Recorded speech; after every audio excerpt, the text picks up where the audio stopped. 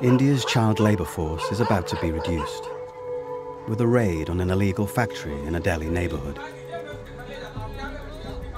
BBA, India's Save the Childhood movement, has received a tip from one of its field agents that children are working here. Hello.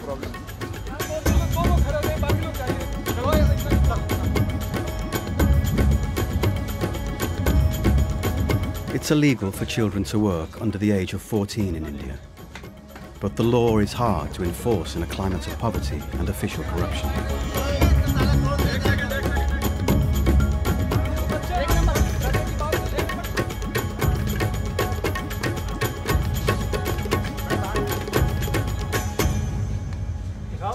Uncle देखने आए हैं तुम कैसे करते हो ठीक है कैसे करते हो दिखाओ These children have been making bindis, the red dots that adorn women's foreheads.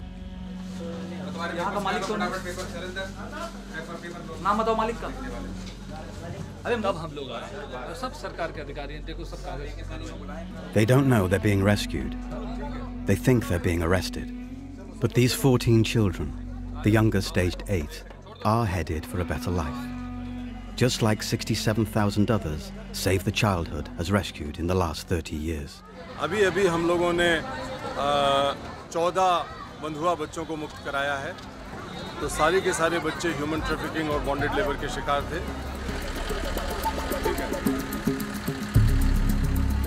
Bonded labor is common here. Employers give high interest loans to parents whose children then work for low wages to pay off the debt, sometimes for years. पैसे नहीं देगा वो मेरा माँ बाप लाया था एक हज़ार कर्ज लिया था वो हमारे मैं गाँव वापस भाग जाऊँ कभी सोचा आपने? नहीं देखा नहीं है गाँव का अगर रास्ता देखा होता तो भाग जाते। भाग जाते। आ, बच्चों ने अभी हमने बात की तो बताया कि बारह बारह चौदह चौदह घंटे काम करते थे। माँ बाप की याद करते थे तो डांट पड़ती थी पिटाई होती थी। आ, खाने का कोई प्रबंध ढंग से नहीं था। तो सबके स्वास्थ्य और चेहरे खराब हमें नज़र आ रहे हैं। Those who run this factory are going to court. मेरा नाम मेरा नाम नहीं मैं तो कारीगर हूँ काम करता हूँ इसको थाने ले चलो इसको चलो चलो थाने ले चलो नहीं नहीं इधर यही है यही है ना तेरा इसको थाने ले चलो In South Asia, as in many other regions, child labor has been accepted for centuries. The income generated by children for their families is not an optional extra, it's for survival. It's estimated by the International Labour Organization that there are 6 million children in bonded labour worldwide. The child still has the, the, universal human right to education. The child still has the universal uh, right not to be exposed to hazards. Uh, the child has the universal right not to be subject to, to child labour. If they weren't universal, they wouldn't be human rights.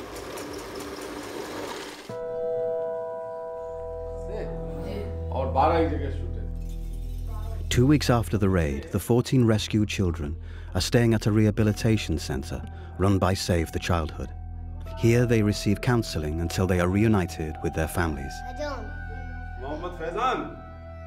Save the Children's founder, Kailash Satyarthi, pays them a visit.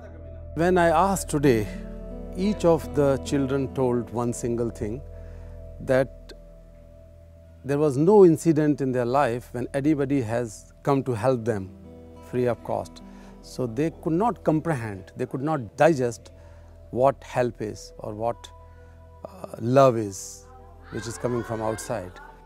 For the first time, they realize that somebody is helping them.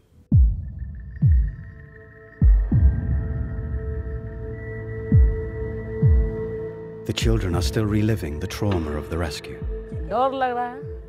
हम सोचते हैं कितने पकड़ के ले जाएगा जब आएगा सब बोलेगा उड़ जा उड़ जा उड़ जा। चारों तरफ़ से घेर लिया। डर लग रहा है। आपने क्या सोचा कि कहाँ क्या करने आए हैं? पुलिस देखकर डर लगा कहाँ ले जाएगा जेल ले जाएगा क्या? Sold by their parents, compelled to work for strangers, the children know no other life. माँ बाप कहा दे दो बच्चे का काम कराएगा। अच्छा तो नहीं लगता है मजबूरी में चला है छोटे बच्चे थे बारह ठो बड़ा अठारह है दिन नौ बजे जागते थे काम बैठ जाते थे बारह बजे रात तक करते थे रुपये नहीं दे रहा है खाना खरीद दे रहा है पचास पचास रुपया दे रहा है एतवार का So it's endless work. They were like machine. And when I asked, what did you do the whole day and night? They said, eat, sleep, and then work. If they hadn't been rescued, the children could have been bought and sold over and over again. As they gain more experience in the workplace, they become more valuable. Employers will sell them on to the next factory owner for a better price. Once the child is taken away, no one can say that he can ever come back home. He could be confined to workplaces for years, or sometimes he could be sold to another employer or the third one. It goes on and on. And in the meantime, these children become more skilled and uh, they can give more price. So it's, a, it's an endless tunnel. After two weeks' rest and counselling, the children are beginning to recover. Most will be reunited with their parents, who are given financial help to give the children a better chance of going to school. तुमको आश्रम अच्छा लगता है कि तुमको गाँव अच्छा लगता है? आश्रम।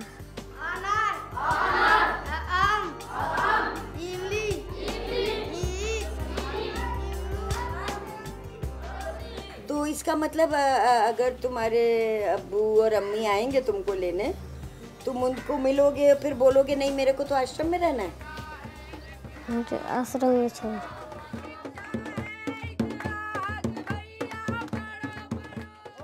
बड़ा होके क्या बनेगा master one could see the slavery on their faces. But the most important difference one can see now is the difference between slavery and freedom. You can see the freedom, you can realize the freedom now.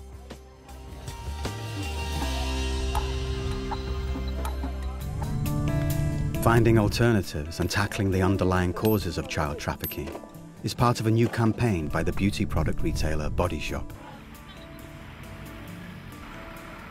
They want to eliminate the trafficking of children and young people, which makes them vulnerable to sexual exploitation. Where there is poverty, where there are tough economic conditions, or communities that aren't as happy and, and healthy as they could be, that sometimes leads to the trafficking of those young children and, and young people. And so it's about wiping out the causes of that. The problem is that they need everything. I mean, for starters, food. Some of them saying the little that they get, they're only able to get food for themselves. Then after that, that's when they can think about whether to pay school fees. Normally, from the parents, then the first question they would ask you is, what then do you want us to do? If I'm not able to get enough to provide for the children, what else do you want me to do? Body Shop is launching a global petition in all its stores and online, rallying its customers to its campaign. It's around prevention, where, where that does happen. Secondly, it's around developing and supporting legal frameworks in each of the countries that we operate in. And then finally, where we know that children have been trafficked, it's about the support mechanisms and, and the care for those children and aftercare uh, for those children and young people to, to get them back into society, to help them back into a, a normal way of living and a happy and healthy way of living. Body Shop is well known for its ethical sourcing of products and for its campaigns. Well, it's very much been a part of our DNA and, and what we do. And as we've launched new products, we've launched our campaigns. For us, it's about more than just a product. That works for some businesses, and, and I, I, certainly for the Body Shop, it's been part of our heritage for over 30 years. And, and it's been an exciting and an interesting journey for all of us, for our employees and for our customers. But is campaigning a good idea for businesses?